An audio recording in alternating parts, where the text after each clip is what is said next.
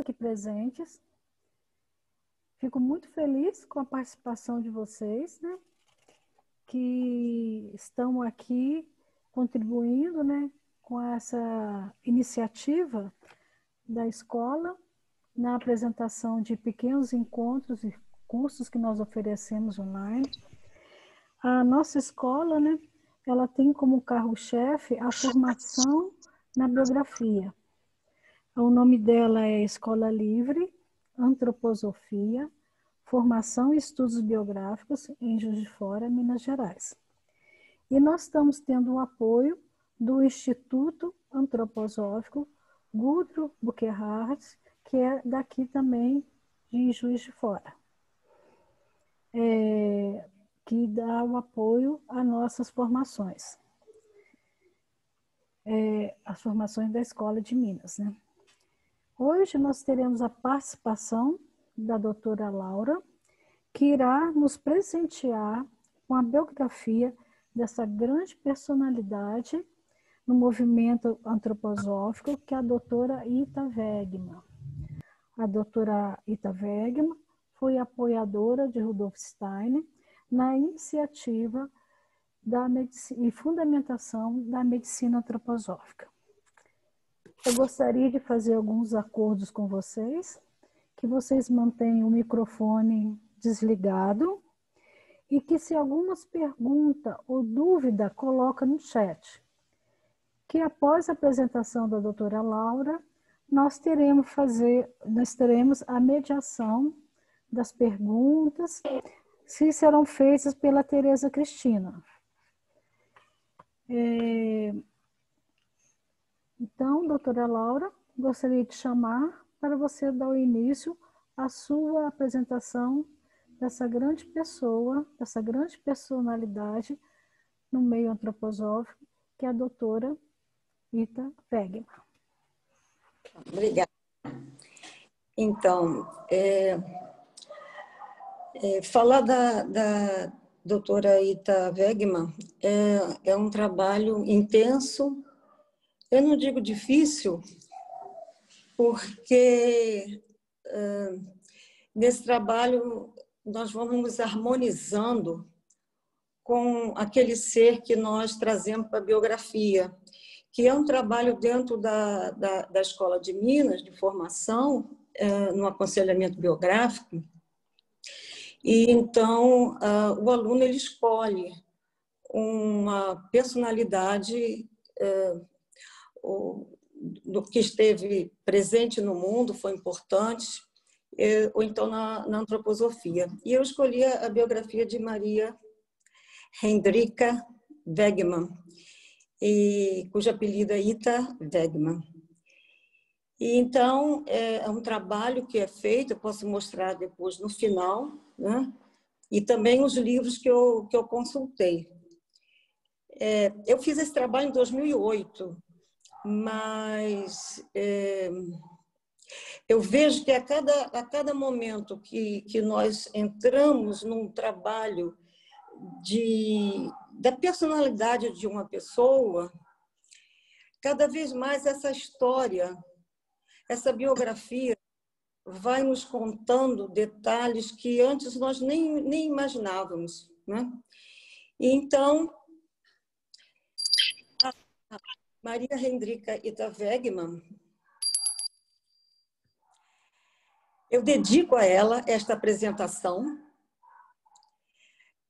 cuja personalidade acompanha todos aqueles que lutam por uma humanidade mais justa e que tem como ela coragem de promover no mundo a arte de curar ampliada pela antroposofia. É, eu sei que algumas pessoas não conhecem a antroposofia, mas depois, eh, nas perguntas, vocês podem colocar as dúvidas eh, em pontos que eu vou apresentar da doutora Ita Wegman. Então, é esta imagem primeira que eu apresento da doutora Ita Wegman. E vocês observem bem é, essa personalidade. E vocês não podem imaginar, ela foi chamada por Rudolf Steiner como a Pantera Negra. Muitas pessoas a chamavam de Pantera Negra. Por quê? Porque era uma pessoa arisca, era uma pessoa solitária, mas era um ser de ação.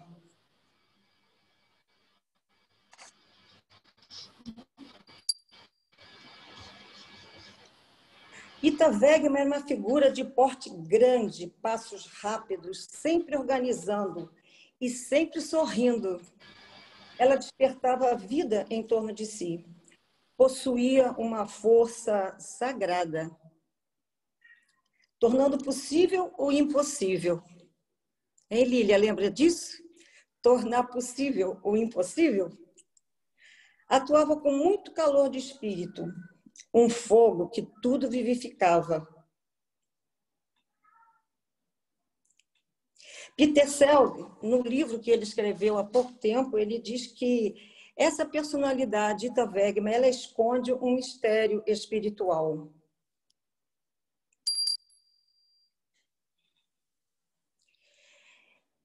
Durante a vida inteira, no contato com Steiner, quando ela o conheceu, ele passou a chamá-la de Misa. Misa era uma sacerdotisa dos mistérios no templo de Éfeso, século V a.C. E existe toda uma história é, é, assim entre os dois e é algo que se estuda muito também dentro da antroposofia, é esse caminhar ao longo das vidas. Não vamos entrar aqui em detalhes, mas e era assim que ele uh, a denominava nas inúmeras cartas que ele escrevia para ela. A Indonésia eu, eu procurei colocar dois mapas aí para mostrar assim onde nós estamos na América do Sul, o local que ela está, que ela nasceu, né? E para onde ela foi, que foi esse esse mapa à esquerda mostra o caminho que ela fez depois até a Europa. E no, no mapa do lado direito, ah, mais acentuado em laranja, é, está o local onde ela nasceu. É uma ilha repleta de vulcões. E ela foi o centro de poderosos impérios hindus e budistas.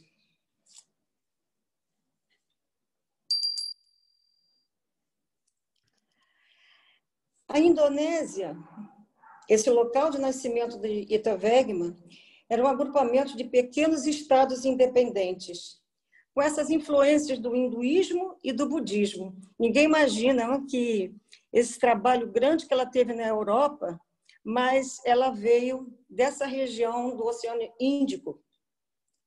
As nações colonizadoras foram Inglaterra, Portugal e Holanda, sendo a Holanda, na época que ela nasceu, a mais significativa. As fontes de exploração da terra eram arroz, açúcar, café, chá borracha, canela, mostarda, baunilha e madeiras de lei. E ela foi um local ocupada pelos alemães na Segunda Grande Guerra Mundial. Os acontecimentos Nesse período em que Ita Wegman nasceu, 1876 a 1943, foi um momento histórico incomparavelmente difícil. Tanto as circunstâncias políticos-sociais como as econômicas e pessoais do trabalho para a medicina ampliada pela ciência espiritual. Então, vocês imaginam essa época de início da Primeira Grande Guerra Mundial, depois da Segunda Grande Guerra Mundial, e, e todo o mundo estava em tremores. Parece que tem algo assemelhado à época atual, né? E é isso que nós estamos vivendo e que ela viveu. Os acontecimentos mundiais, desde o nascimento dela, entre uma guerra e outra, e uma situação muito difícil, porque ela ela lidava ali pelo, pelo ambiente da, da Alemanha, Áustria, Suíça, Espanha, e, e vivenciou, está aí no meio, não sei se vocês conseguem ver bem, mas nós vamos ver mais adiante, a queima criminosa do primeiro Goetheano. É, quem não conhece o Goetheano, Goetheano é o centro mundial da, da antroposofia e que foi é, construído e elaborado por Rudolf Steiner para ser um centro da ciência espiritual.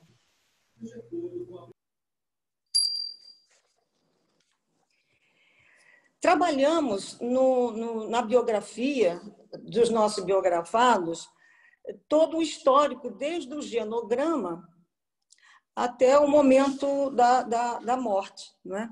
Então, o genograma são os pais de Ita Wegman, o Hendrik Wegman e a Henriette Maria Offers.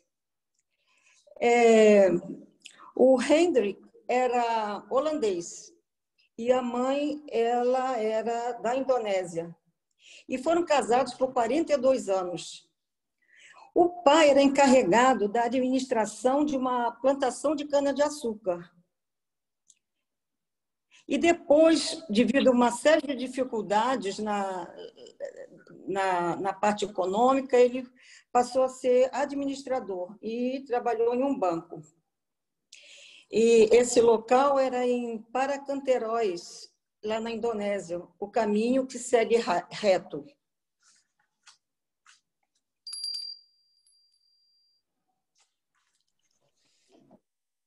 Ela não conheceu os avós paternos, mas o avô materno já era responsável por grandes armazéns. E ela teve cinco irmãos. Ela foi a primeira que nasceu, depois nasceu Charlie, Manta, que necessitou de cuidados especiais, Henri, que falece aos nove anos de idade, e o meio-irmão Vitor. E também teve uma irmã que falece com um ano Henri é, faleceu de cólera, que era comum país lá na, na Indonésia, né? A visão, eu vou dar uma visão não detalhada a cada setênio, e isso é feito no, no trabalho da, da, monografia, né? Então, eu vou dar uma, uma visão da, no primeiro, segundo e terceiro setênios na vida dela. Ela vivencia nesses três setênios o bom, o belo e o verdadeiro. Nasceu em 22 de fevereiro de 1873 em Karawang, que era uma é, província a leste de Java e que era grande produtora de mel.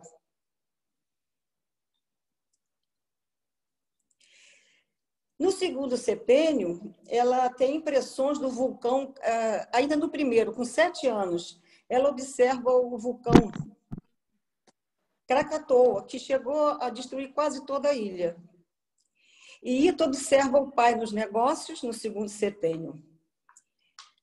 Aos 12 anos, ela acompanha o pai no banco. Isso é muito importante de se colocar, porque esses três primeiros setênios nós carregamos ao longo da nossa vida até o final da nossa vida. Esses três primeiros setênios, 0 a 7, 7 a 14, 14 a 21, eles são importantes não só na nossa formação do, do corpo, mas também vai moldando a nossa alma. E nós dizemos, dentro dos ensinamentos uh, do aconselhamento biográfico, que de 0 a 21 é a primeira entrada do eu. Então, ela ficava observando como é que o pai lidava com os negócios. Isso foi muito importante para a vida dela. E ela teve, nesse período, crise de bronquite. E ela tinha uma personalidade muito forte.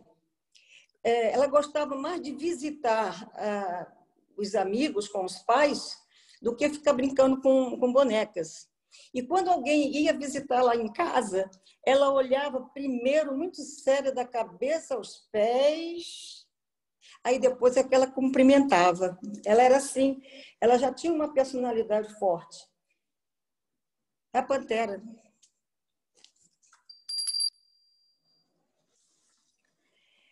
Ela, junto com a sua irmã Charlie, que está aí, nessa foto, não dá para ver bem, mas é em Probolingo, em Java. E ela, ela, ela está com a irmã durante toda a infância e a adolescência. Quando ela ia para a escola, é, eles, eles iam de charrete. E quando ela via que a charrete estava andando muito devagar e, e as outras charretes estão passando à frente, ela pediu ao cocheiro de pegar as rédeas, ela pegava as rédeas e movimentava os cavalos e, e, ela queria ir na frente e rápido, não queria ficar esperando. Ela assumia as rédeas e, ia embora. Aos 14 anos, é, ela conhece Bruxelas. É, é esse período que nós chamamos mochila nas costas. Não?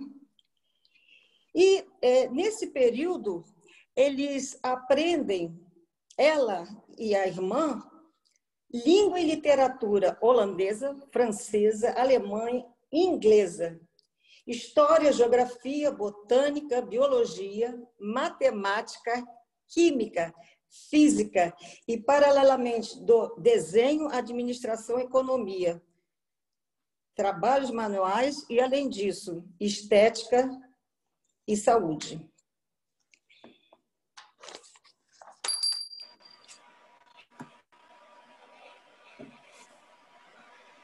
Aos 15 anos, eis a foto da, de Ita Wegman. E ela está em Arnhem, em Países Baixos, é Holanda. E é, nesse período, aos 19 anos, é, próximo ao primeiro nódulo lunar, é, ela, conhe, ela conhece esse rapaz, um namorado, numa viagem. Mas um ano depois ele falece de tuberculose.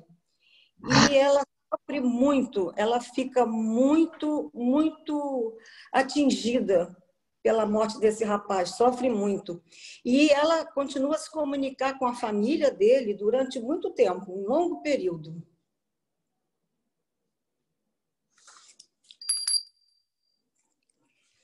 Nesse quarto setênio, de 21 a 28, ela aprende piano, canto, ela vai ao teatro, ela gosta de peças de teatro, passa. E aí ela, ela contrai malária aos 20 anos. E ela retorna às montanhas é, na, é, lá em, na Indonésia e ela começa, para se recuperar da, da, da malária, ela passa essa temporada nas montanhas, colhendo rosas, e ela lida muito com a natureza. Isso foi sempre um forte na personalidade de, de Ita Wegman. E, e, e, esse sofrimento que ela teve com a perda eh, desse namorado, e ela já, já tinha, assim, dentro dela esse caminho espiritual, ela começa a frequentar a teosofia. E começa, então, um caminho ah, que nós chamamos de 21 a 42, que aprendemos no aconselhamento biográfico, que eu convido a todos a participar, que, que realmente é um estudo que dá uma, um diferencial na nossa vida, na vida de cada um de, de nós.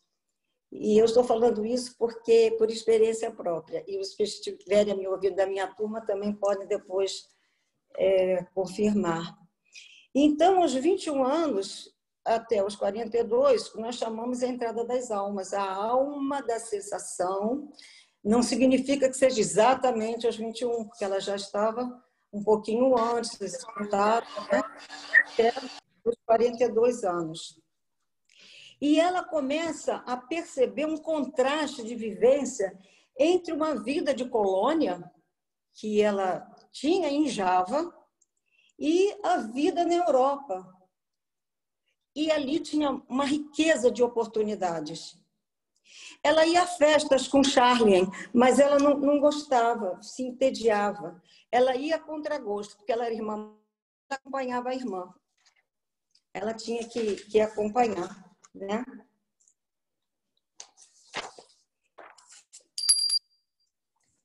E ela continua. Aí, com 23 anos, 24 anos, ela começa uma vivência mais ampla da vida, que nós dizemos que é a entrada de Júpiter, a segunda entrada de Júpiter. Tem, tem todo o significado nos estudos.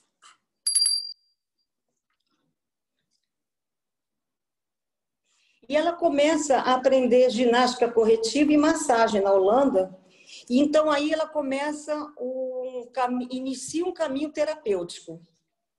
Antes ela estava começando já o caminho espiritual através da teosofia, queria conhecer mais sobre isto. E agora ela inicia um caminho terapêutico. E nesse meio tempo morre o irmão em Probolingo. Essa época na Europa é uma época de correntes terapêuticas novas. Né?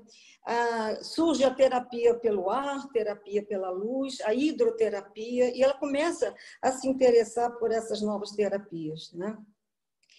E aí ela tem o primeiro encontro com Rudolf Steiner, na teosofia, teosofia, isso. E compreende uma, ela compreende, ela compreende uma interna, internamente uma ligação kármica entre eles. Mas isso é muito frustro, assim, é uma coisa muito, muito sutil. E, e ela conhece Anne Besant. Quem conhece a teosofia sabe que Anne Besant é um dos fundadores da teosofia.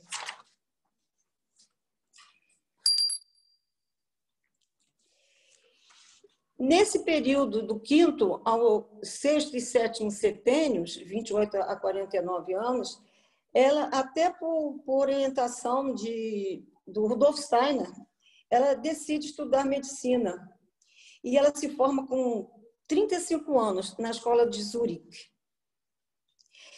Ela possuía, já demonstrava essa capacidade diagnóstica intuitiva.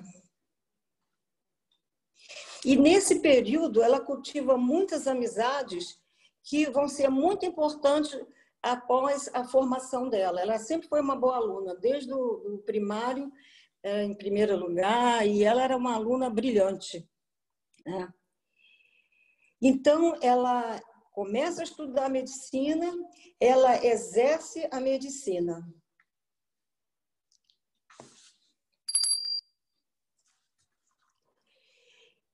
E ocorre que ela presencia, ah, durante esses momentos que ela vai à teosofia, uma discussão entre Anne Besant e Anne Besant e Rudolf Steiner.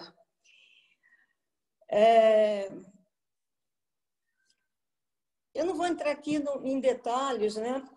Porque, inclusive, por causa do tempo, né? Até oito horas, não é isso? Não é, Verônica? Até oito horas? Tem muita coisa para falar, então. Mas é, é, era discussão sobre tradições orientais e tradição ocidental que o Steiner queria trazer. Era uma tradi eram tradições lunares e ele queria uh, e ele falava e queria falar e continuava falando sobre a, as tradições solares, sobre a, a parte solar, né? E aí, com aproximadamente 31 anos, quer dizer, entre aquele período de morte e ressurreição, que ocorre nesse, nesse estágio que nós conhecemos na formação, ela decide abandonar a teosofia. E, e, nesse período de 28 a 49 anos, ela faz a pergunta numa palestra que ela começa a frequentar com Rudolf Steiner, que com 38 anos ela pergunta como seria experimentar uma vida esotérica. E ela sabia que daquele momento em diante, o Rudolf Steiner era seu mestre, seu instrutor. o antigo karma foi renovado, mas somente muitos anos depois, e vocês vão ver, é que ela realmente toma consciência para ela que ela tinha uma missão junto com ele.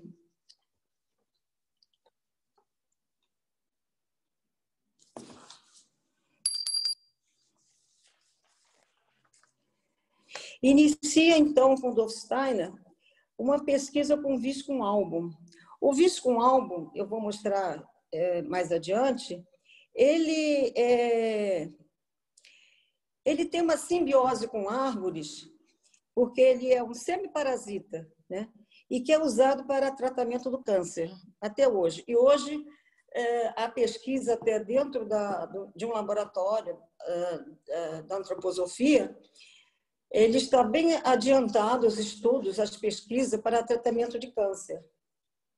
E ela inicia isso em 1917, com 41 anos, e junto com este químico, Oscar que ele, ela começa a produzir medicamentos na antroposofia junto com o Rudolf Steiner.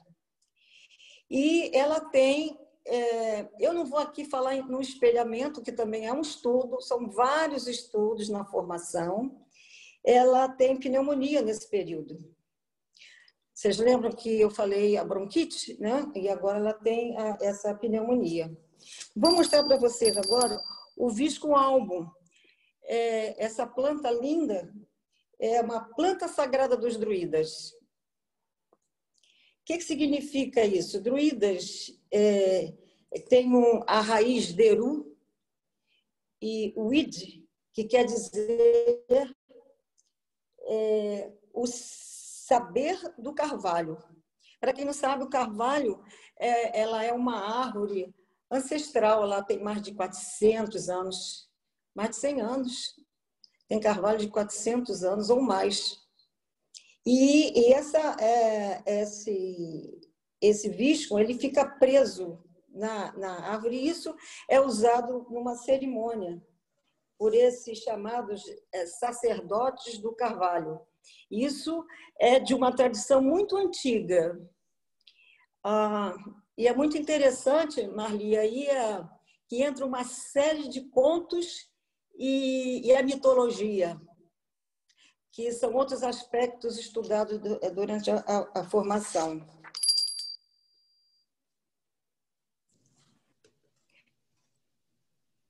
Com 48 anos, ela é nomeada diretora da seção médica da Sociedade Antroposófica. É o quarto ciclo de, de Júpiter dela. Mas ela, sim, não é nomeada porque ela tem um caminho com Rudolf Steiner. Não. Ela é nomeada pela capacidade dela e pelo trabalho dela na medicina espiritual.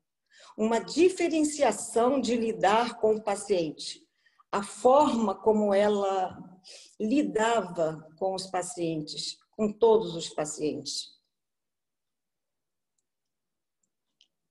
E ela é protagonista de vários eventos. Quando eu falo protagonista de vários eventos, eu não, eu não detalhei aqui, mas existem vários encontros e congressos, congressos com mais de mil pessoas, que ela organiza junto com o Rudolf Steiner, e, e, ela participa ativamente, independente do período que foi falado no início, que era um período muito, muito difícil para ela, né?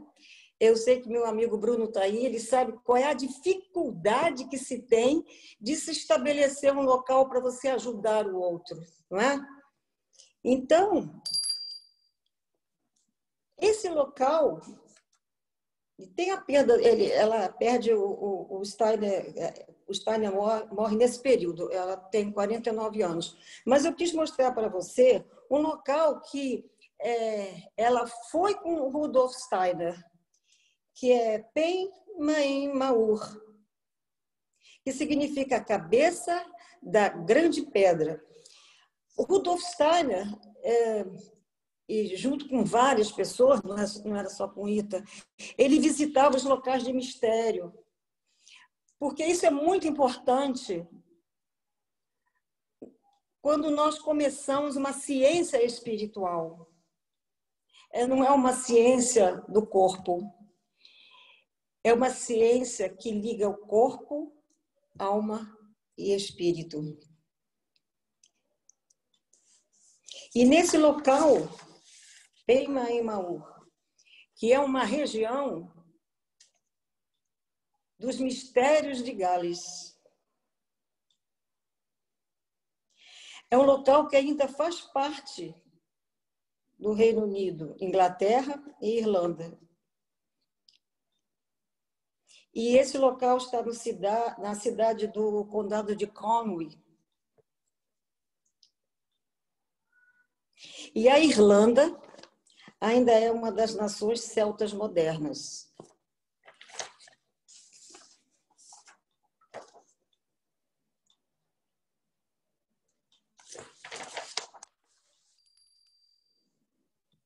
E nesse local,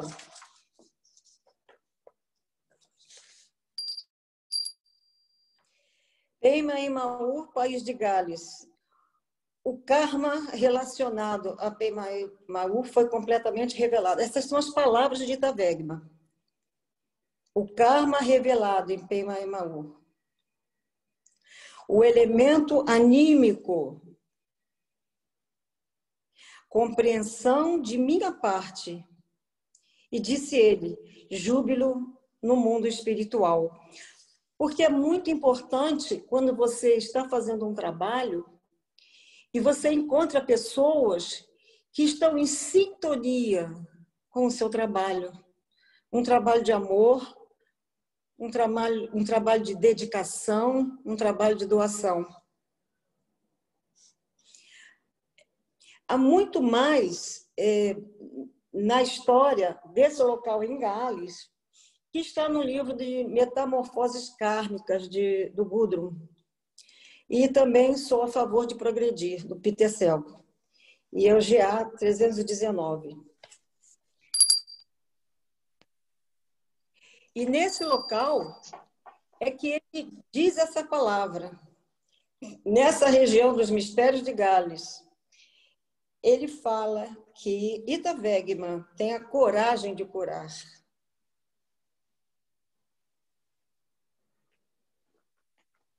E essa região tem profunda relação com os mistérios de Ibérnia, ou Irlanda, bem como com a corrente de Micael.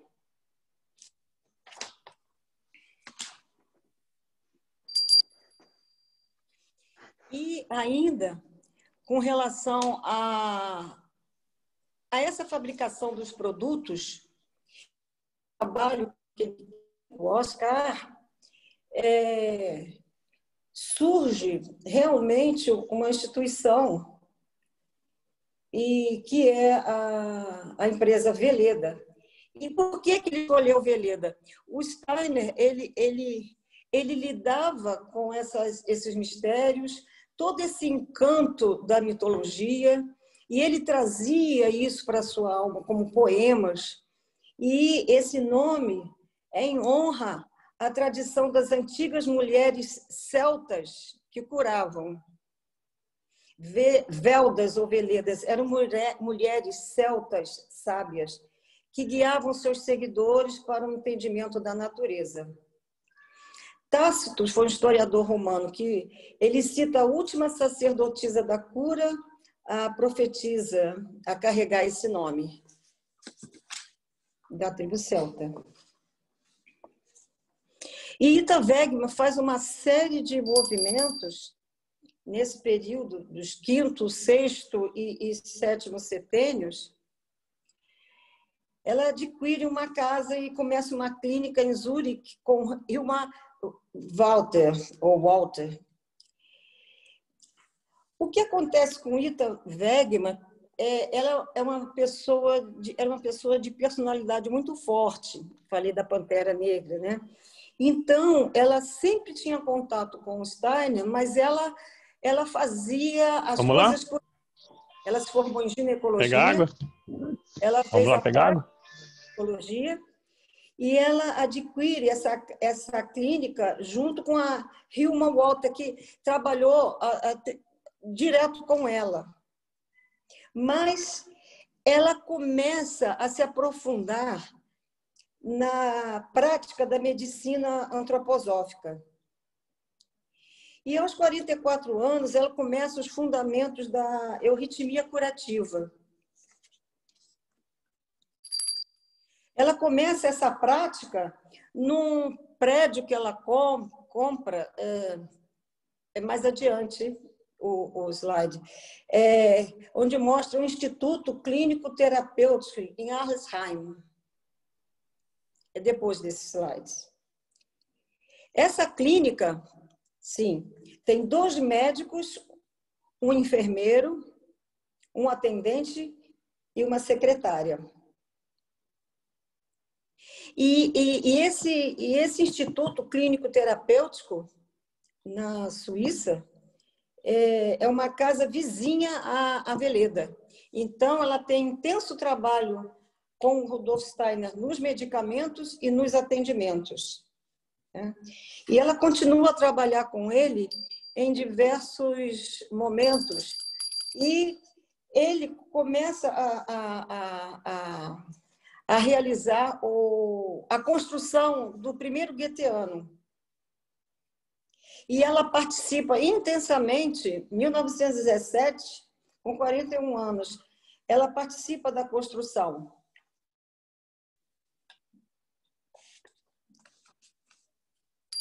E o que, que acontece é que ela vivencia, junto com Rudolf Steiner e, e outras pessoas que trabalhavam junto com ele, a, o Goetheano em chamas, porque ele, ele foi construído todo em madeira.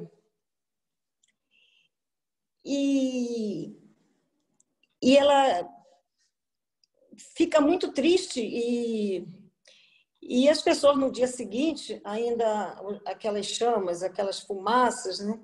eles estão no topo lá, onde estava o Goetheano, e ela diz para ele: é horrível para nós, não é?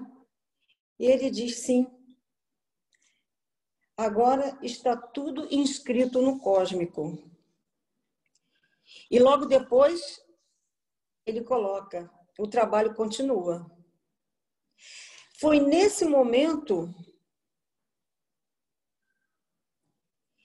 que ela percebeu que ela realmente tinha um trabalho profundo com Rudolf Steiner. E ele diz: o trabalho continua e voltaremos a construir. E esse momento ela fica integralmente à disposição dos trabalhos com ele. E ela ainda pergunta: mas por quê? Vamos relembrar que esse período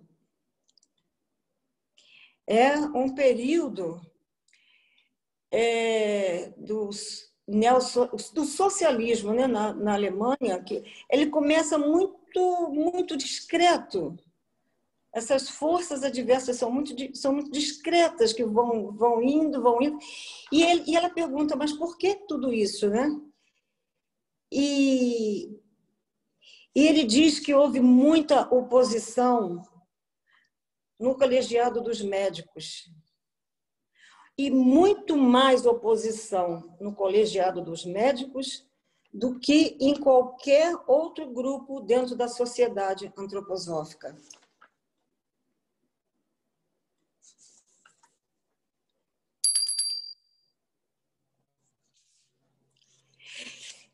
Ela, após a morte de Steiner, ela começa a escrever a revista Natura.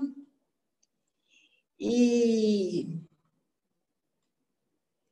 o Steiner, quando houve o incêndio, ele começa a questionar sobre a sociedade antroposófica, o que estava paralisando, né? Essa falta de, de colaboração, a falta de tarefas científicas, bloqueio ao êxito de muitas iniciativas. Começava a iniciativa e alguém dizia, ah, não, é uma, uma boa isso. E, e também, principalmente, a rejeição dos jovens. Não sei se vocês sabem que isso ainda até hoje, né? Às vezes as pessoas procuram um médico, vê um médico jovem e dizem ah, não, eu prefiro aquele ali, está com cabelos brancos, aquele tem mais experiência, né? Mas havia uma mudança muito grande na consciência dos seres e os jovens estavam ansiosos por é, novas novas descobertas, novas formas de tratar o outro. Quem lida com os pacientes sabe que existe, não é um, um, uma rejeição à medicina tradicional, em absoluto. O Steiner sempre foi muito, muito firme nisso. Né? Ele, ele dizia que deveria a pessoa fazer a medicina e ampliar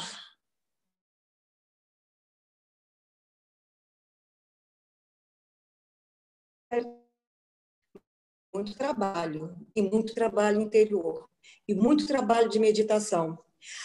A, quando a enfermeira apresentava o paciente para a Ita Wegman, ela não ia de imediato dizer assim, ah, ela me disse que ele está com febre, ele está com diarreia, então, não. Ela fazia como que um branco diante dela e ela queria, sentava até no leito do, do paciente e ela procurava sentir o que estava por detrás de todos aqueles sintomas que estavam surgindo. Né? Ainda durante o período da doença de, do Rudolf Steiner, de, de 1924 a 1925, ela, junto com ele, faz é, é, este livro que é Fundamentos para a Arte de Curar. Eu vou relembrar aqui as perguntas. A primeira pergunta que ela faz aos 38 anos, porque é importante a pergunta. Nós devemos sempre perguntar. E não ter vergonha de perguntar. Nós temos que perguntar. A primeira pergunta, ela disse: como seria experimentar mais da vida esotérica, da vida espiritual, com 38 anos? Aos 47, ela pergunta de novo para ele se seria possível renovar os antigos mistérios em mistérios modernos cristãos, ou como fundar uma medicina esotérica, uma medicina espiritual. E ela fez inúmeras perguntas. Eu não anotei todas as perguntas, não tenho aqui, mas eu tenho duas perguntas que estão no outro livreto aqui que eu posso depois mostrar para vocês, que é a pedra fundamental. É, ele pergunta, ela pergunta para ele: como se desenrola o processo do sangue no pulmão em relação ao coração. Então, sempre com ele surgiam perguntas e ele respondia. A outra pergunta, isso no período de 48 a 49 anos dela. Qual a relação entre o karma futuro e o coração? Então, são perguntas e são questões que às vezes assim, isso tem relação? Isso realmente tem fundamento? O que, é isso do coração? É? E nós aprendemos dentro da antroposofia, na formação, é, a trimembração, corpo, alma, espírito. E a trimembração, corpo físico, corpo vital, O corpo das almas, o astral e o espírito, uma quadrimembração. Existe todo um estudo ao longo da, da, da ciência espiritual que amplia a ciência tradicional. Então, tem essas perguntas que eu, eu fiz questão de, de, de trazer aqui, acentuar, porque ele, mesmo na doença, muito mal, ela que tratou dele no, até a morte, é, e eles escrever esse, esse livro, que até hoje é um, é um livro básico para a medicina antroposófica. Tá? Ele funda, aos 40, nos 48 anos dela, a, a Escola Superior de Ciência Espiritual. Foi quando ele indicou ela como para a sessão médica do, do Goetheano, né?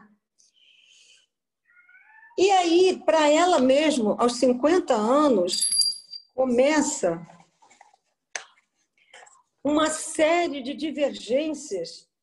É, a, a, a Lilian apresentou, é, eu acho que ela apresentou alguma coisa da pedagogia, é, curativa e assim as pessoas iam aprendendo, iam crescendo naquele conhecimento, conhecimento diferente de inspiração interior. Isso ela trabalhou ao longo da vida dela com Dolph Stein através das meditações, das orações. Né? É, quiseram fazer institutos em separado, houve muita divisão. E ela começa a ter desentendimento com vários grupos de diretores. E ela foi convidada, entre aspas, né, a sair definitivamente da, da diretoria do Goetheano. Mas ela não para, ela não para. Ela cria um asilo de médicos para médicos austríacos, refugiados da, da Escócia, da perseguição de Hitler, é, onde surgiu o movimento Campil e Aberdeen. Quem pode falar muito disso depois, numa, numa outra palestra, é a Lilian, que ela lidou com, com esse trabalho e ela falou. Né? E mais, detalhe aí, mais detalhes ainda do Rudolf Steiner, uh, meu amigo Sidney, né, Sidney, de falar. E para encantar com, com, com os mistérios, uh, Marli, né, Marli? E é isso, é muito trabalho para frente, muito trabalho pela frente. E o que, que acontece? Ela adoece gravemente, com 58 anos, mas ela não esmorece. Ela realiza sua última grande viagem por vários países, porque ela continua visitando é, tem fotos dela e que não houve chance e oportunidade de, de mostrar todas as fotos dela, dela no navio e viajando para a Bulgária. É, ela foi à Hungria, Bulgária, Escandinávia, foi a, a vários lugares. E ela adquire, veja só, essa mulher que ela traz essa experiência do pai, que eu falei logo no início, né? o pai que tinha aquela capacidade administrativa de gerenciar todos aqueles armazéns, o avô materno também, ela adquire duas, eu digo muitas propriedades, porque ao longo da vida dela, na Inglaterra, ela estabeleceu várias uh, instituições e e aqui na Suíça italiana, ela, ela adquire duas propriedades. Mas o que acontece com ela é que ela fratura o braço e ela necessita de duas cirurgias. E, e, e devido às condições da, do ambiente, é 1939. 1939 é o início da Segunda Guerra, né? declarada, porque já antes já havia uma total desarmonia é, entre os povos. Né? E ela, com 63 anos, ela fratura o braço, é, necessita de duas cirurgias, mas é, é aplicada anestesia local. Em Ticino, é, Ascona, ela no Lago Maggiore, ela faz a casa de Andréa. André...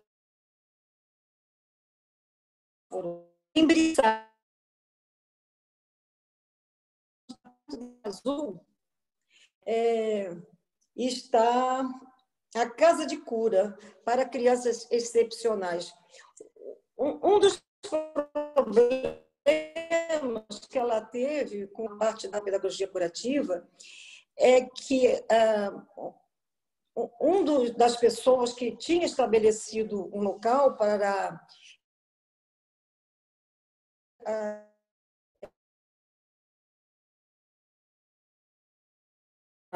ele disse que havia um problema econômico muito grande e ela e, e, aí começou o desentendimento. Ela falou assim: mas justamente o instituto foi feito para receber essas crianças. Por que, que não receber essas crianças? O dinheiro é secundário. Aí as pessoas dizem assim: o dinheiro é secundário? É, porque ele surge. Miraculosamente, ele surge. É? E então, ela começa a ter também problemas no dorso do pé, e compus e, e tudo, né? E ela chega esse décimo setênio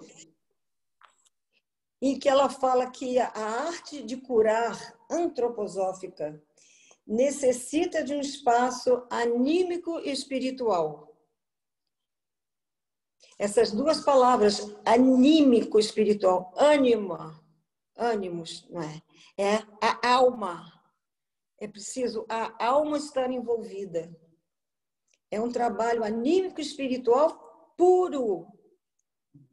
Puro no qual se conservem as forças curativas, no qual se conserva. É como uma planta. Você tem um ramo de rosas. Essas flores que a Tereza trouxe para mim. Obrigada, Tereza. Aí eu vou, pego as flores assim, de uma maneira tão abrupta, né?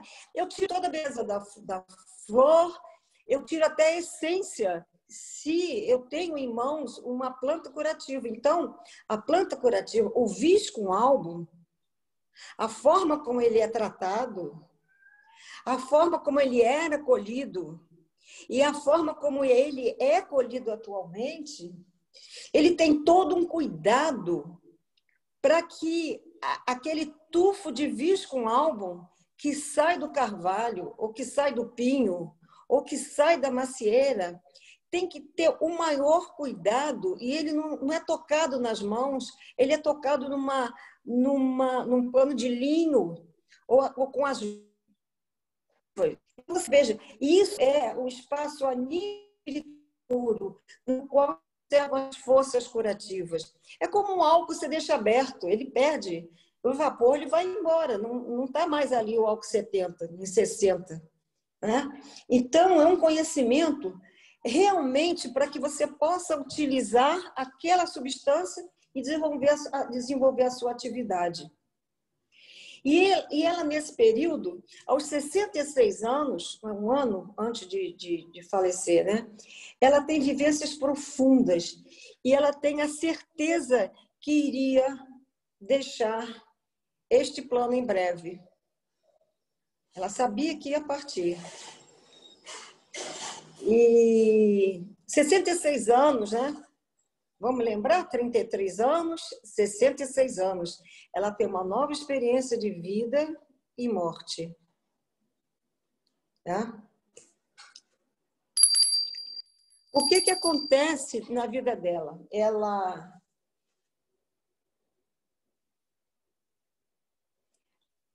Eles chegaram à conclusão que eles foram um pouco demais com ela porque realmente ela tinha uma personalidade forte.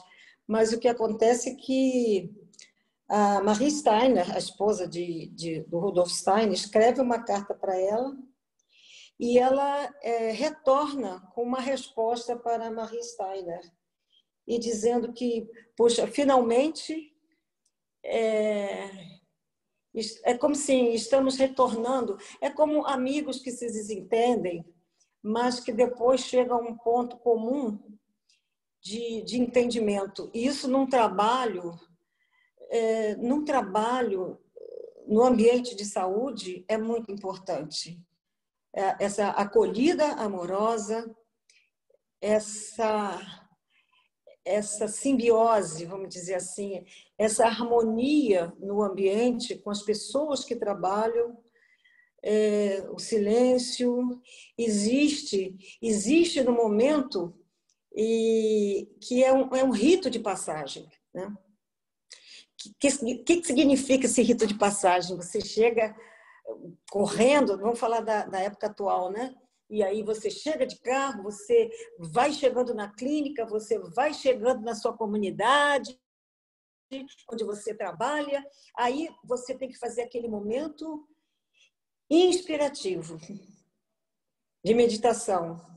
Criar um, a ambiência de saúde, sua saúde, para levar a saúde. Né? E olha, não passaram por pandemia, tá, pessoal? Então,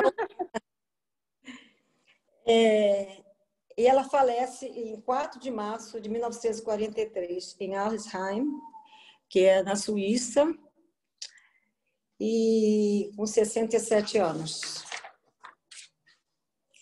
É, eu vou dedicar aqui uma poesia de Cecília Meirelles para Maria Hendrika Wegman e para todos. Sim. A serviço da vida, fui. A serviço da vida, vim. Só meu sofrimento me instrui quando me recordo de mim. E toda mágoa se dilui, restando a vida sem fim.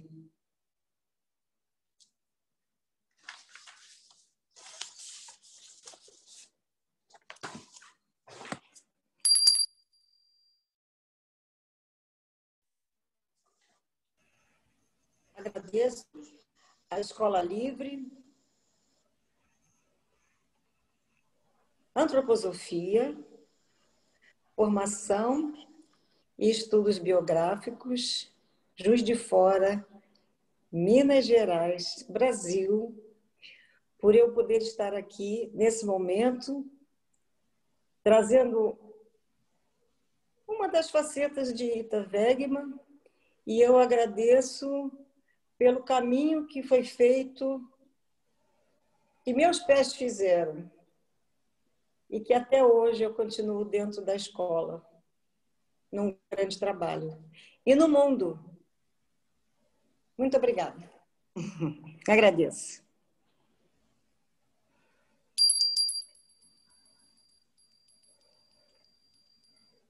Laura, muito obrigada pela sua Sim. bela apresentação dessa grande personalidade, que é a doutora Ita Wegman, que nos inspira né, nesse caminho da arte da cura e que a, a, nos alimenta também nessa disposição de fazer esse caminho da autoeducação e do autodesenvolvimento dentro da escola espiritual que é a antroposofia.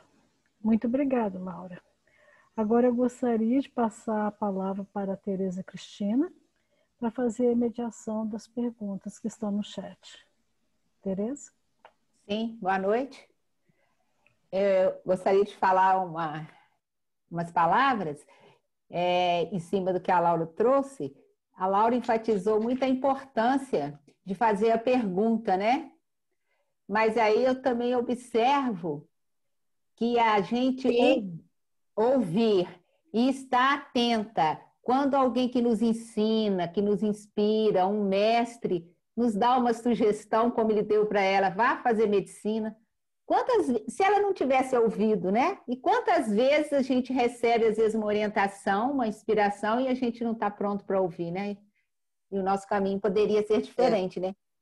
Então, eu ouvir e falar, né? Perguntar e ouvir. É. Agora, deixa eu abrir o chat aqui. É, então. Enquanto você procura no chat, só mostrar aqui os 500 Budas. Deixa eu ver se dá, deu para ver aí os 500 Budas que tem. É, é o maior templo de budismo que tem. A terra é muito linda. Posso? É, posso? Tereza, abre, abre seu vídeo. É, mas eu estou no celular. Na hora. Ah, abri meu vídeo, peraí. Ah, tá bom. Abri. Agora deixa eu voltar para o chat, eu tinha esquecido. Então, a primeira pergunta é do Renan. Renan Leandro. Ele pergunta o seguinte: por que a primeira entrada do eu acontece apenas aos 21 anos de idade? Poderia detalhar melhor esse processo, suas influências e consequências? Hum. Na verdade, Renan, é, é, não entra é, aos 21 anos, já no nascimento o eu está presente. Ele está presente ao longo da vida, mas é, o ser, ele necessita, é, é, é próprio do ser humano ele nasce e ele tem todos os estágios dele, que ele rasteja e depois ele começa a andar. Aos três anos, aos três anos já tem essa conscientização e a criança fala não, né? E então é, essa isso isso é bem explicado durante a formação. É, nós colocamos isto didaticamente. Na verdade, é que ao longo dos anos, é como eu falei, de 0 a 21, a primeira entrada. Na segunda entrada, de 21 a 42, aí entram as almas, a alma da sensação, e tudo isso é explicado durante a formação, e aos poucos assim, nós vamos compreendendo o que, é isso. Porque eu estranhava também a primeira entrada do eu só aos 21, na verdade, o ser ele já vai adquirindo essa, essa, essa força, inclusive do, do, do perpendicular, do, do ereto né, que o ser humano tem, e já desde criança. Espero ter respondido para você. É claro que não está completa a, a, a resposta, mas já é um início para a compreensão. Tá bom assim, Renan?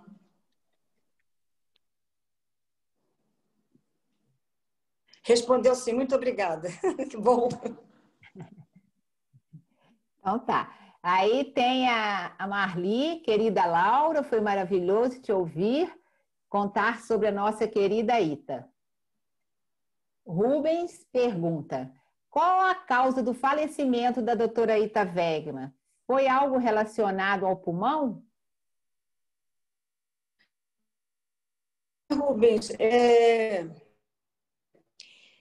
é, ela, ela, ela teve vários episódios é, acamada. E ela foi enfraquecendo muito, porque a luta dela foi muito intensa. E foi uma luta mais assim, anímica e espiritual, para manter, porque ela, ela é assim o ponto principal da medicina antroposófica. Sem ela não haveria continuidade, não haveria continuidade. Né?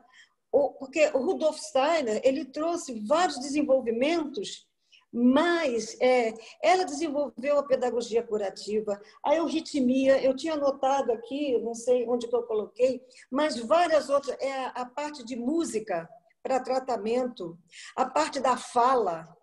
Então, ela teve um desgaste físico muito grande. E, assim, eu até procurei pesquisar se a malária teria dado algum problema, né? porque ela teve a malária quando criança e depois ela teve é, é, quando jovem e depois ela teve outro episódio. Então, é, é essa cirurgia que ela teve que fazer no braço, quase sem anestesia, que era cirurgia de braço, ela quebrou o braço, ela simplesmente fraturou o braço. E ela teve que usar anestesia local devido às condições eh, do, ambiente. E ela continuava a fazer o quê? Fez as, lá em Ascone e. Ela continuou colocando instituições e não parou. Né, Angélica? O que você acha disso? Hein? ela trabalhou muito. Então, ela era uma mulher de ação, é a pantera. Então, essa doença dela. É se está só relacionado ao pulmão, bom, tem esse livro aqui, que é a da Pedra Fundamental, e que ela fez essa pergunta: como é que ocorre é, esse processo do sangue no pulmão em relação ao coração? Né? E ela teve realmente uma, uma pneumonia. Né? E, e, e, ele fala aqui em poucas, em poucas é, folhas essa interação de coração com, com, com o neurosensorial e o pulmão. É uma coisa que é um mistério, entre aspas. Né? Quando a gente começa, quando nós começamos a estudar, nós percebemos que é realmente uma ciência espiritual. Viu? Então, Rubens, é isso. É, eu acho que foi é, múltipla falência dos órgãos. Geralmente nos óbitos colocam isso, né? Mas ela estava muito cansada. Ela estava muito triste. Inclusive, tem um episódio que, ah, quando ela está mesmo partindo, a amiga fala para ela assim: Puxa, você vai nos deixar? você não pode ficar entre nós? E ela responde: Por que não? Então, é, é, o espírito dela está entre nós. E a causa real, eu acho que foi múltipla. Respondi, Rubens?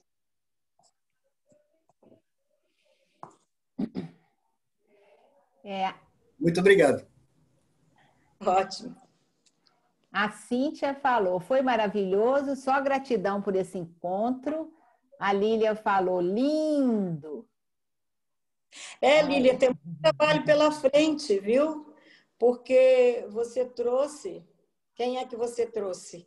Maravilhoso na palestra que você falou sobre todo o trabalho dele, né?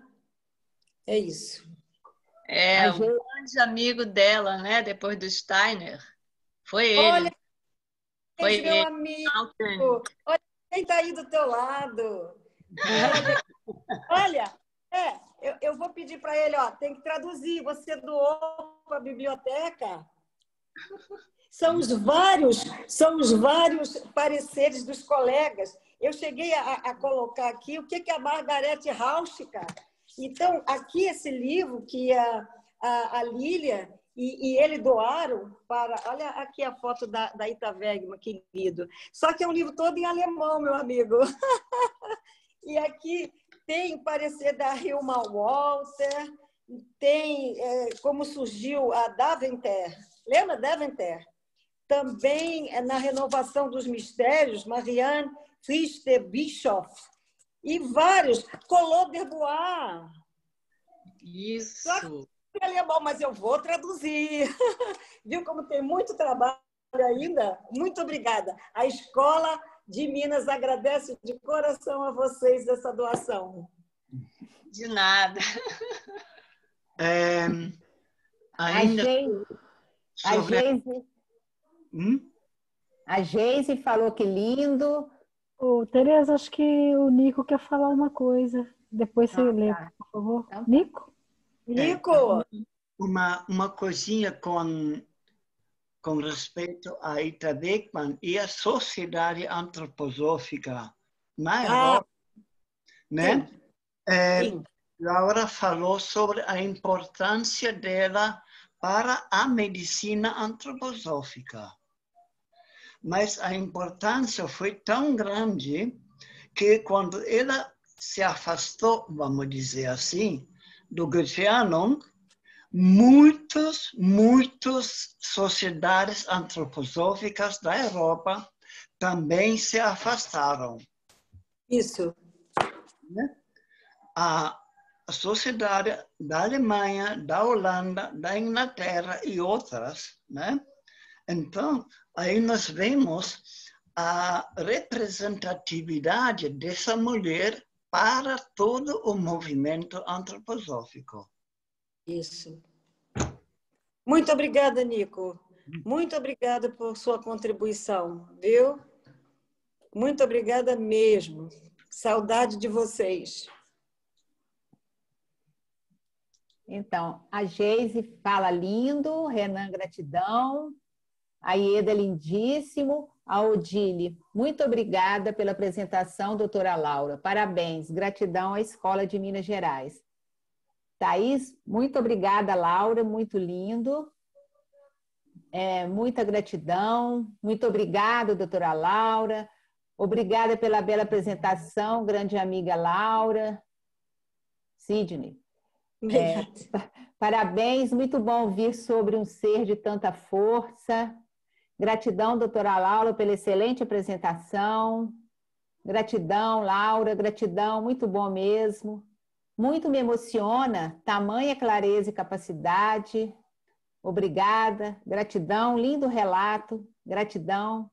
Parabéns pela apresentação. Muito obrigada, muito lindo. Parabéns, doutora Laura, excelente apresentação. Muito obrigada. Tenho outro curso agora, preciso sair gratidão. É, gratidão, muito agradecida, Laura, obrigada. Tô, não tem mais pergunta, eu acho. Foi muito bom te, re, te rever e ouvir a biografia da Ita. Gratidão pela belíssima aula, parabéns. Maravilhoso. Viver é seguir adiante. Também apreende-se este fato concreto conhecendo a história de uma pessoa tão especial. Isso. Ana Maria. Com certeza. Falou. É, falou. Boa noite a todos. Peço licença para ser antecipadamente. Gratidão pela oportunidade. Obrigada, doutora Laura. Parabéns, doutora Laura, pela excelente apresentação. Muito grata. Grata pela apresentação, muito inspiradora. Como é essa chamada entrada de Júpiter? É uma pergunta, Cristina. iPad. Então, é, nós aprendemos, Cristina, não é? é. Cristina, durante a formação, é, nós aprendemos que existem as forças é, planetárias é? e os ciclos. É, e é muito interessante porque a biografia, é, existem leis biográficas e que nós vamos compreendendo ao longo da formação então, de 12 em 12 anos, ocorre um fato ligado a um determinado planeta, que foi falado do nodo lunar, de Júpiter, né? E então, essas são compreensões que nós vamos tendo à medida que nós vamos caminhando na formação em algum dos módulos. Não só as forças planetárias, mas também esses ciclos desses planetas em nossas vidas. É impressionante que com aquela idade, ou um pouquinho antes ou um pouquinho depois, ocorre aquele fato que modifica a, a nossa vida. E de Júpiter é uma ampliação da nossa visão, é, da nossa biografia. Eu, Cristina? Laura, queria aproveitar Sim. que você está falando dos ritmos né, planetários e dos nó lunares, que a programação da escola para novembro, exatamente a Tereza Cristina, ela vai falar sobre isso. Então, fica todos convidados para esse aprofundamento sobre os ritmos planetários e os nó lunares. Isso. Né, eu agradeço a todos. É. Tantas pessoas estão agradecendo, mas é que eu agradeço e, e que esse ser fica, fique sempre em nossos corações, né? É, eu vou continuar, tem mais coisa, Laura. O, Re, o Renan fala, responde, respondeu sim, muito obrigada. A Lilian fala, Nico diz que ela foi a figura central da antroposofia, não só da medicina na Europa. Gratidão Isso. por cada palavra.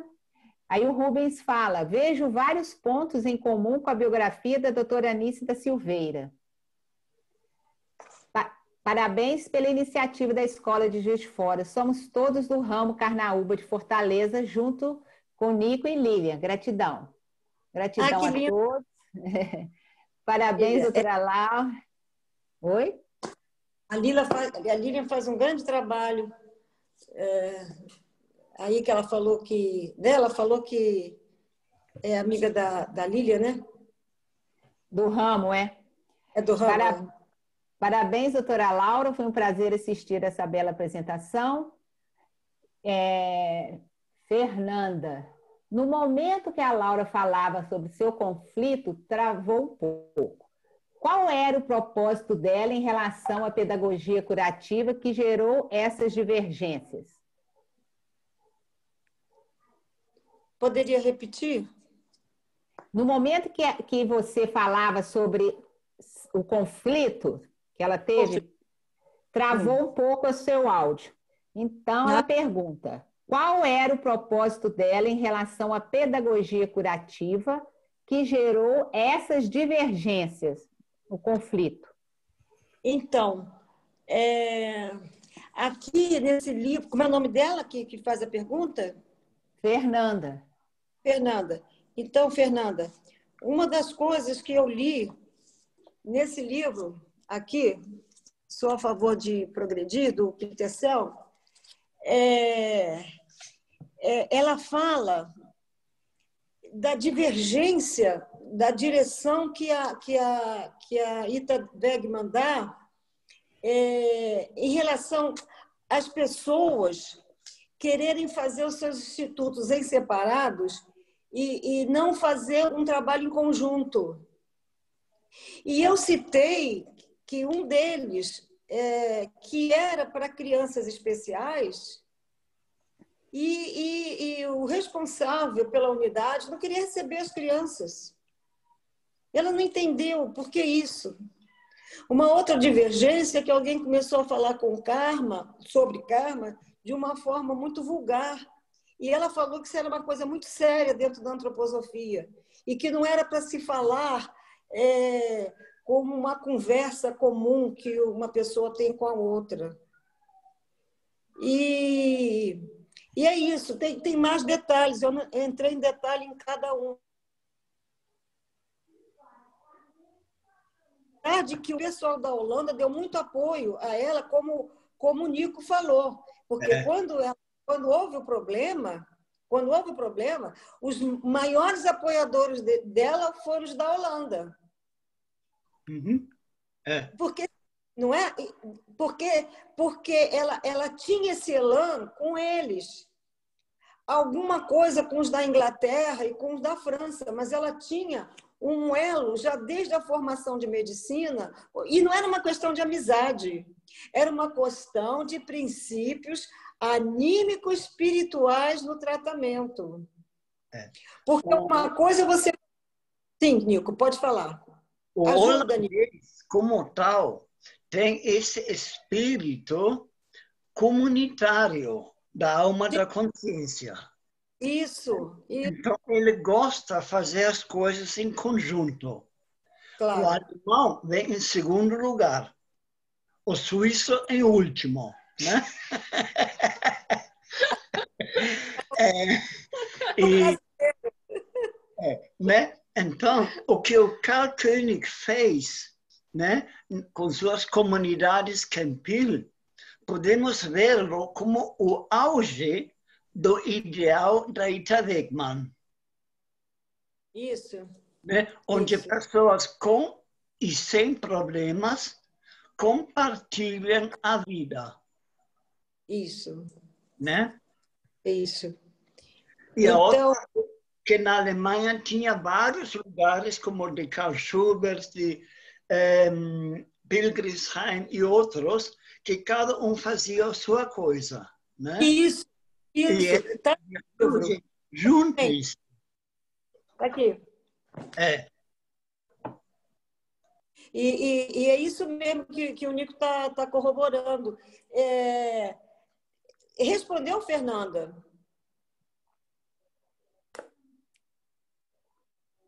Foi respondido?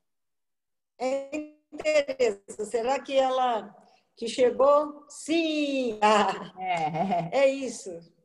Tá. É, a Leuzi, é... de Florianópolis, falou: maravilhosa apresentação de uma mulher grandiosa, gratidão. A, a Cristina falou: gostaria de entender melhor essa entrada de Júpiter. Muito obrigada. Pois é, Cristina. Além da entrada de Júpiter, ainda tem Saturno e tem o nódulo lunar que, como a, a, a doutora Angélica falou sobre os ritmos na biografia. É. Aí ela pôs, entendi, muito obrigada. Gratidão. Sou de Pojuca, na Bahia, e agradeço por ter participado, aprendendo um pouco sobre antroposofia. Muito boa apresentação. Que mulher forte e grandiosa foi a Ita Wegman. Obrigada, doutora Angélica, por me convidar para participar dessa apresentação. Parabéns à Escola de Juiz de Fora e saudades. É a Fátima.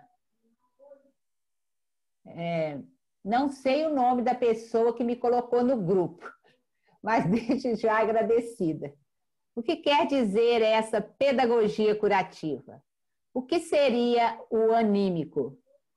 Eliane. Então, Eliane, assim, sobre a pedagogia curativa, é, eu não posso falar porque não é a minha linha dentro da, da antroposofia. Se a doutora Angélica ou mesmo quem está assistindo e conhece, né, que acho que Lília, o próprio Nico, não sei, mas ele, com o máximo prazer deles estarem aqui podendo colaborar.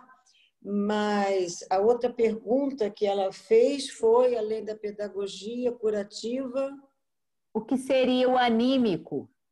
Então, é, essa parte do anímico, ele, ele é dado na formação, que você começa a, a, a aprender, então eu falei de 21 aos 42, que aí é, é a manifestação das almas, da sensação, da intelecto afetiva e, e da alma da consciência, e isso é tudo colocado num trabalho explicando o que é a trimembração, corpo, alma e espírito, e que essa interação entre corpo etérico e astral e corpo, etérico, astral e espírito. Então fica muito assim esquemático. E o que é importante é vivenciar isso em aulas realmente presenciais e que nós estamos um pouco impedidos agora. Então fica assim um pouco, vamos dizer, não tão explicativo né, desse, desse anímico. Mas esse anímico é o que é o que está mais interno dentro de nós que nós devemos trabalhar. Espero ter respondido de alguma forma. Ah, obrigada, Eliane. É, gratidão por esse encontro, obrigada, doutora Laura. A Eliane fala: não trabalho em escola Valdo, mas desde 2007 venho estudando sobre pedagogia Valdo, fazendo curso aqui na Bahia.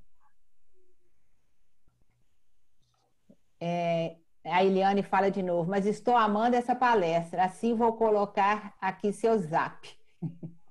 Vocês, vocês vão disponibilizar a gravação? A doutora Angélica que, é que deve comunicar no final alguma coisa sobre isto. É, Tereza, Tereza Trace, eu acho. É, tá, é escrito tão pequenininho aqui, mas acho que é isso mesmo. Race. Boa noite. A vigília que fiz ao hospital da doutora Ita me impactou muito. Pensei, é neste lugar que gostaria de morrer.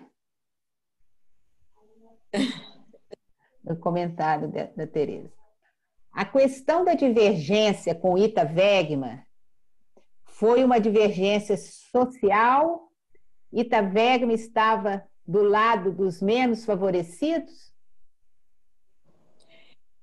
Fábio. É, Paulo, só. Paulo, Paulo Maurício.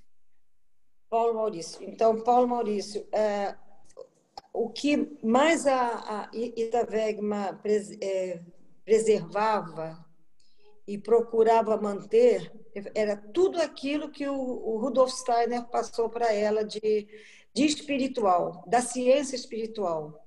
E esse trabalho interno, interior. E havia, é, não havia um dia em que ela não fizesse uma meditação, em que ela não fizesse um trabalho interno. E, e ela trabalhava intensamente com o que coloca num dos livros dele, que são as flores de lótus. Então, ela, ela era de ação, ela, era, ela não era explosiva. Ela era uma mulher decidida e ela, e ela, ela dizia a verdade. E, e não era absolutamente nada de social. E, e ela, assim, e o que ela procurava era essa coragem de curar. Ela tinha coragem de curar e, e que muitos, às vezes, no caminho desistiam ou não conseguiam. Ela tratou de uma paciente com peritonite e ela mandava até os ajudantes saírem, porque era um, um cheiro terrível, né? E, e, e, ela se mantinha, mantinha ali direto com, com, com a paciente. E isso é um dos casos, tem inúmeros casos. O que acontece no ser humano é o trabalho que nós temos que ter com as virtudes e o amor ao próximo, compaixão. Ela tinha compaixão. E, e o que acontece é que muitas vezes vem a soberba e eu posso fazer, eu faço sozinho. Ela mesmo durou muito ela, ela passou muito tempo fazendo as coisas dela, ela, ela fez a, a clínica com a Hilma Walter, mas depois ela viu que ela tinha que fazer um trabalho conjunto. É aquilo que o Nico falou, é um trabalho comum, comunitário. Isso é muito difícil, muito difícil, muito difícil. E ela conseguia fazer isso com as pessoas à distância. Então não era problema pessoal, nem de social, não era. Então, está chegando no fim aqui. A Daniele pede desculpa que ela teve um imprevisto e só chegou agora. A Simara, bem-vinda, Simara, à nossa escola, é uma aluna nova que vai ingressar agora na turma 7, e ela faz a seguinte pergunta: Na antroposofia, usam também a meditação como tratamento para doenças? Com certeza. Com certeza.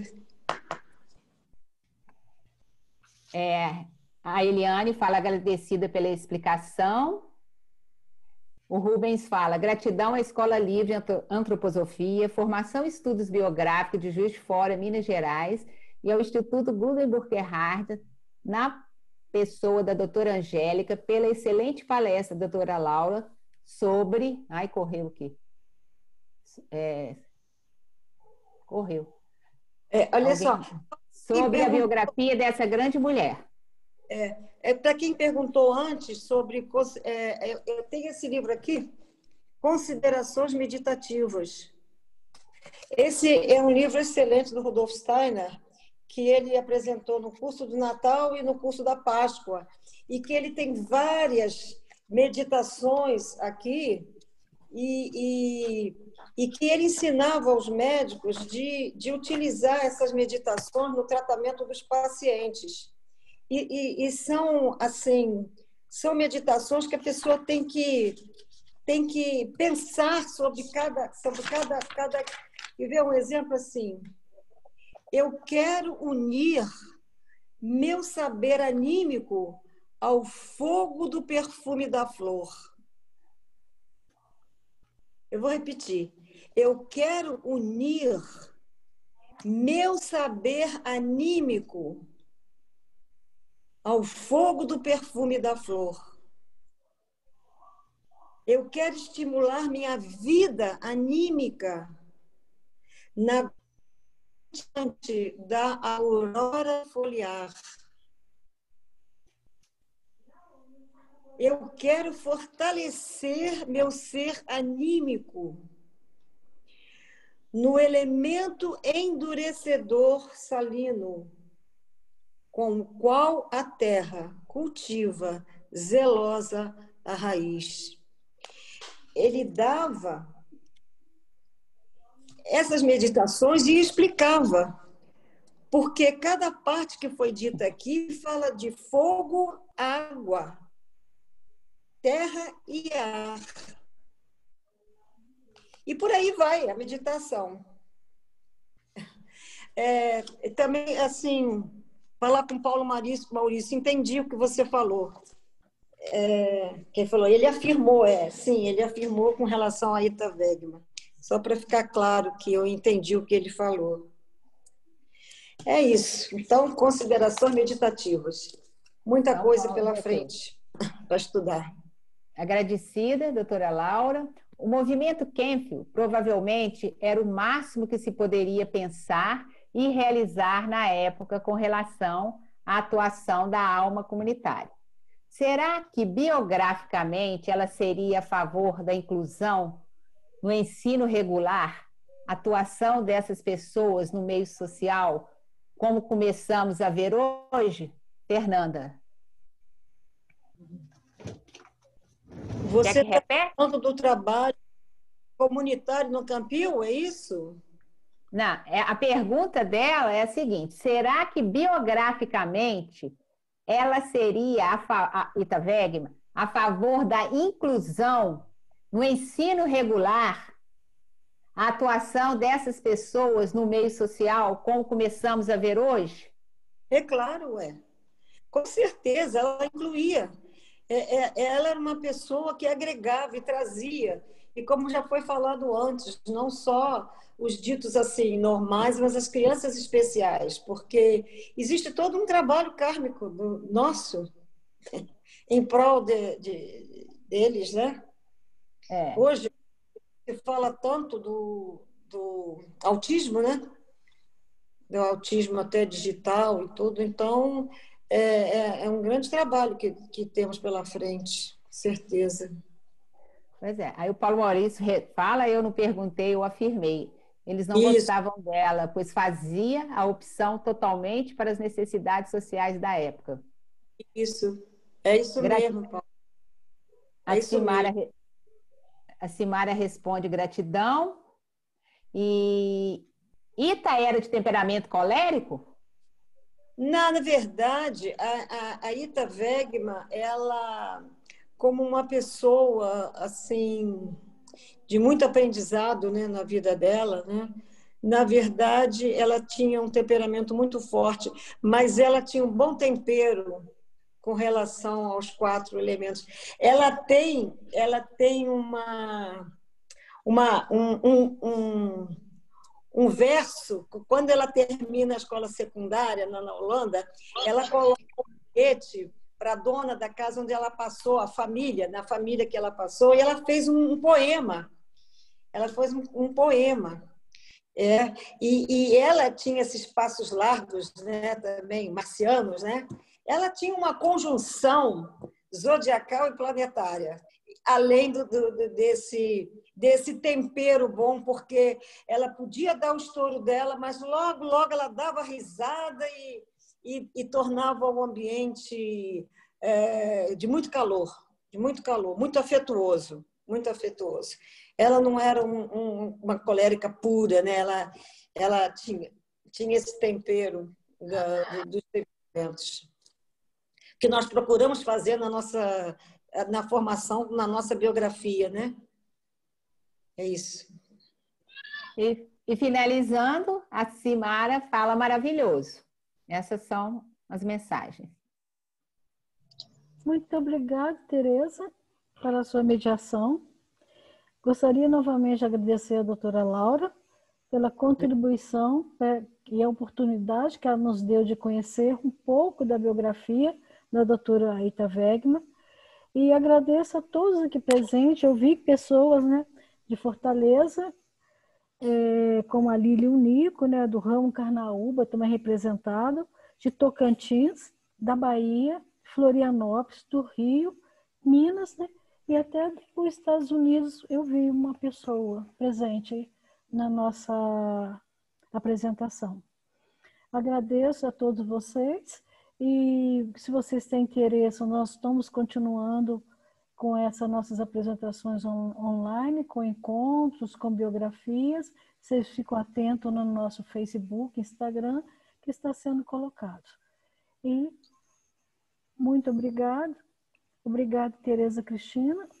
Obrigado a toda a equipe da escola, que permitiu a todos os alunos e ex-alunos da escola que estão aqui presentes Boa noite para vocês e bom dia. Angélica. Até a próxima.